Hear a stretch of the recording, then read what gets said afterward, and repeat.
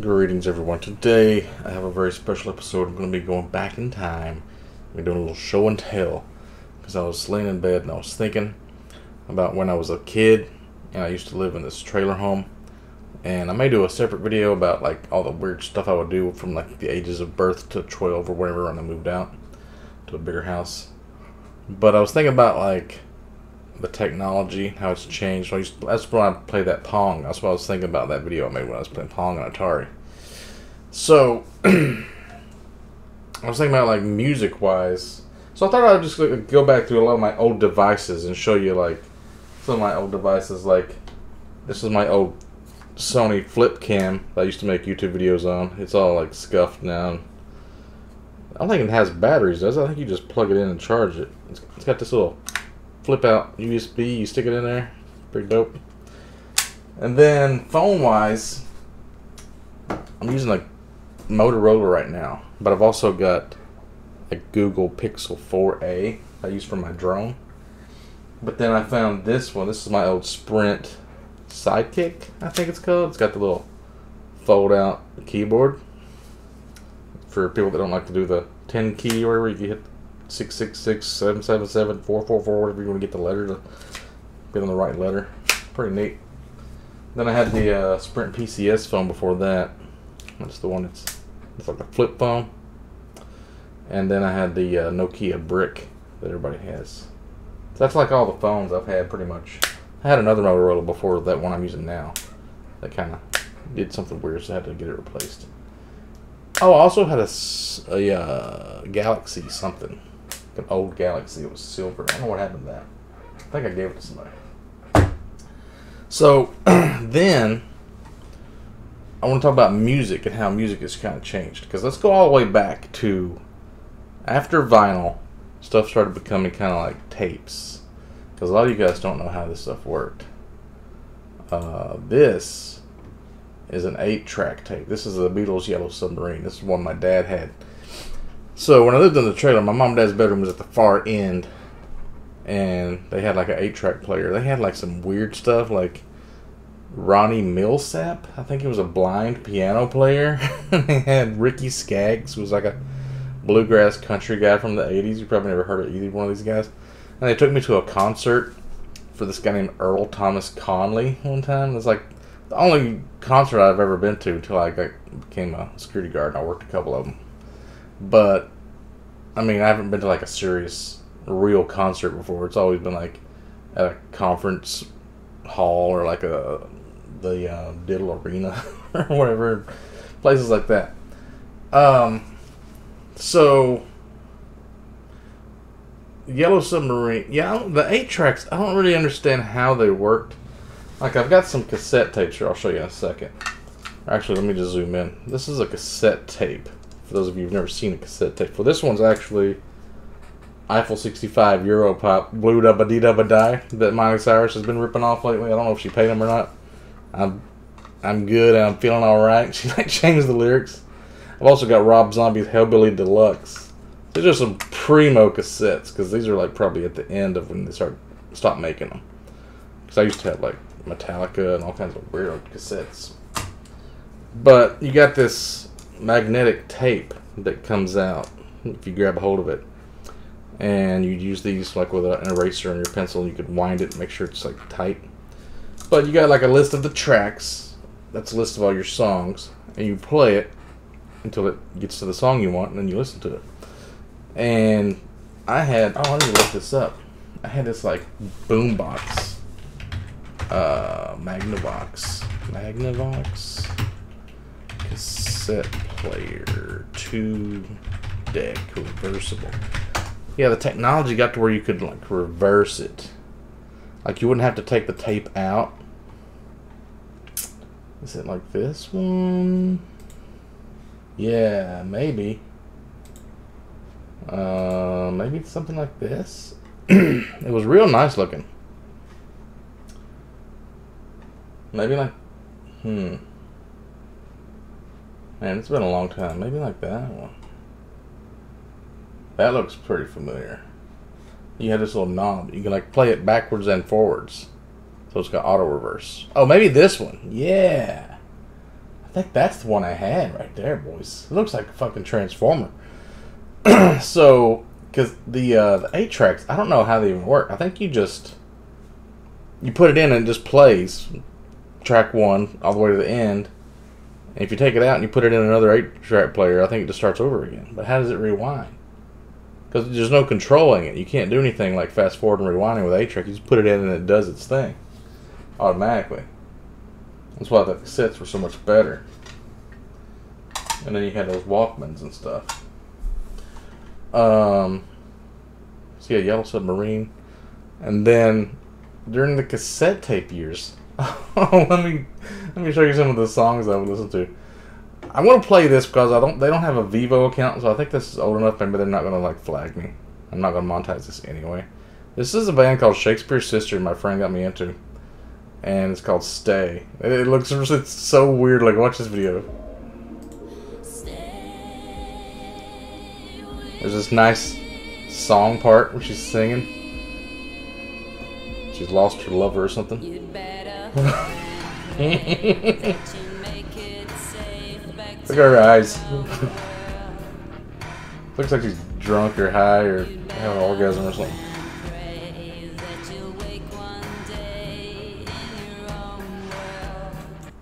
Fucking crazy eyes. So yeah, I was really into this song at the time. And there was another band, Tammy Wynette, with KLF, which was like a black kind of rap band. Is this on Vevo? I'm like, I think this is fine to play too. This was a dope ass song.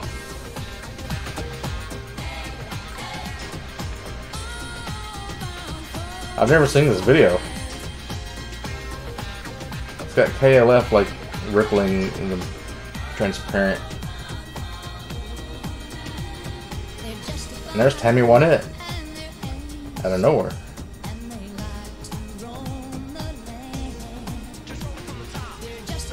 there's Japanese in this? This music was like so dope back then. I'm not gonna play too much of it, but you get the idea. Like, if you want to look at this this movie video, whatever, play it. it was so wild. Uh, this was back in my going to the roller skate rink and like tying yellow and green shoelaces around your knees and shit. This was like the 80s, 80s, like Saved by the Bell times, and everybody was wearing all those crazy colors and shit and they were like rolling their pants up. Um, there was oh, some other weird bands. Oh, Mo, Milli Vanilli, New Kids on the Block, Vanilla Ice. These were all like in my cassette tape days. I think I had Vanilla Ice on the Teenage Mutant Ninja Turtles soundtrack.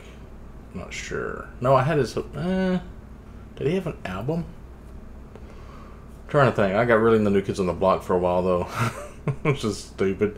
I forgot when I was talking about my uh, my old '80s black boy bands when I was live streaming the other night. There was one. It's like a white band. I think Color Me Badd. Are they white? Yeah, these are white guys, but they were like a black band. Well, there's one black guy. Re- oh my god, the mustaches! It's so cheesy looking. So, um, yeah, so then CDs started coming out. now, my mom, I don't know if like we were sharing a CD player because I know I wouldn't have chosen these. My first three CDs after cassettes switched to CDs was Jon Secada, which is my mom's favorite singer at the time, I guess. He's like this Latin singer. I can't play this because it's probably copyrighted. Uh, Just Another Day Without You. And then I think I picked C+C Music Factory. Everybody Dance Now. I think that was what I wanted. It was like a single or had like two songs on it. Oh, Ace of Base. Yeah, that was around back then. And then Michael Bolton. I think it's another one of my mom's. And then I got into like uh, Phil Collins no jacket required, Sussudio, and all that kind of stuff. Oh, I was into some heavy, some heavy hitting music back then, dude. Uh, so then, I had this crappy CD player, I think. And then one day, my dad took me to Sears. I think I had saved up my money. Maybe I had started. Did I have a job back then? How did I get money? I had enough money to buy a CD player, like a good one, and I have it to this day. It's in my bedroom. I was gonna bring it here and show you, but it's like a uh, jukebox style. Well, there's a video I'll show you. This one. This is a video of my CD player. Uh, this Japanese guy made, and looks like that. So I kind of use it as a night light, so it's just got these like spinning lights and stuff that dance around and you open up the front and it's like a row and it's got these really intricate like rubber teeth like gears rubber bands that like precisely moves this head back and forth and it pulls out a cd you put in like the what number you want like uh, if you want like 42 you put in like 4 and you hit a button to like make it to the 2 hit another button and it would like go find it. It would pull it out and then you pick what track you want. It's like a whole big mess like some, my aunt had this four thousand dollar system, and you just pull out a tray and you put five CDs in it, and you play those five. This one, you gotta like have a spreadsheet. And you make like a list of what's on it and what numbers you gotta put in to hit to it. It's kind of complicated, but it looks cool and it holds like sixty-one CDs in it.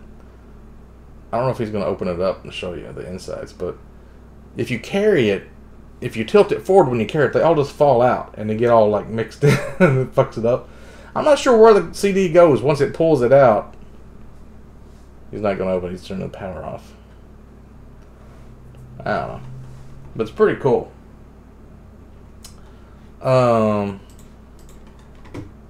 So that was my CD days. And then, oh, when the MP3 players came out. So my first MP3 player was this thing called an iRiver by what company is that? Um, I don't even know. I think it's just an iRiver company. I think those were like twenty nine dollars, or something like that. And then it wasn't very like it's pretty bulky. It didn't fit in your pocket good. But then I got this one called a Sansa Fuse, and I'll show you that. I've still got it. This is the first one I got. This was like fifty bucks, I think and it was solid black, rubber on the back, and I used it so much I rubbed all the black off of it. I used it for like those 12 years I was living in Lexington. When I would walk around as a guard, I would listen to this thing, and it's like got an actual tactile, like the original iPods. Yeah, the iPods have those little wheels you would spin around, like you actually move it and you hit the buttons, and it works really good. And then they switched to like the touchscreen ones. And of course, it's not like a, an iPhone touchscreen. It's like a really shitty ass Japanese company's touchscreen, so it doesn't work half the time. And I think this one even had like a video. You could play like a really shitty quality video on this little screen. But this one eventually broke after many loyal years, and I got another one. It was like cost twice as much. I think I paid like 120 for this little pink one and then I immediately stopped using it because I started just using my phone. Because I found a, a, an app that would like this was one of the only ones that you could play a long like three hour podcast. And when you stop it and play it again it will remember where you were. So then I figured out I could do that on my phone using like audiobook players or whatever some kind of app I've got. You can actually set it up to like if you stop it and you play it it'll back up like 10 seconds to remind you where you were at especially like listening to audiobooks. If you have to start over every time, you gotta like search and find it. I mean, this was really good for like searching because you just like hit a button and you just turn the wheel until it gets to where you're at and you hit play if you remembered it. But yeah, every now and then something would fuck up and you have to do that. But that pretty much covers it. Now I'm just like using my phone all the time to listen to everything. And I don't remember what happened to my other earphones. That they are pretty much like this style, but these are the only ones. Actually, these are completely broken. these don't even have the full knobs on the end because I broke them off. And then you get problems with the wires. They get all twisted up, and then you get like it's like bare copper wire in there, so you doesn't sound right. Real flimsy. I just need like these type of earphones with like really high quality wire that would be like, wouldn't have to buy any more ever again. Maybe make these little nubs out of metal so they wouldn't break off. That would be dope. So pretty much covers it. That's all the old devices I can think of. Yeah, I think I went through a tape, CD, MP3. That's pretty much all there's been for music, right? Now it's just like streaming. I gotta get rid of like all my old DVD and VHS collection. I was thinking about back in the day, you would have this whole market for like cabinets that would just hold VHS tapes, and now nobody uses them at, all. And they had like special drawers for like cassette tapes to fit into with little plastic linings and stuff, but like, oh, that's gone. I used to have like, I've got three CD towers in there, like my whole CD collection is in, but like they're pretty much useless now. I could just throw them all away. They're probably worthless. A lot of people think those like Black Diamond Disney VHS tapes are worth something, but they're not. It's like all old media is garbage. Plus, I've got like five or six of those like Velcro folders. It's like pages and pages of like sheets to put like CDs that you write from your PC on. I've got like anime collections on there, TV shows on there. But like it's the quality is so bad. I'm sure from like back in the day, like they didn't even have like 1080p quality back. you couldn't even read the subtitles probably because the I don't know. Back then we could, but there's this like new Trigun anime that came out recently, and I'm like, oh yeah, that old Trigun I had, that was like really shit quality compared to what this probably is. But man, I'd like to have like a company back then that made stuff like that. But then it would be like Blockbuster now, like so worthless.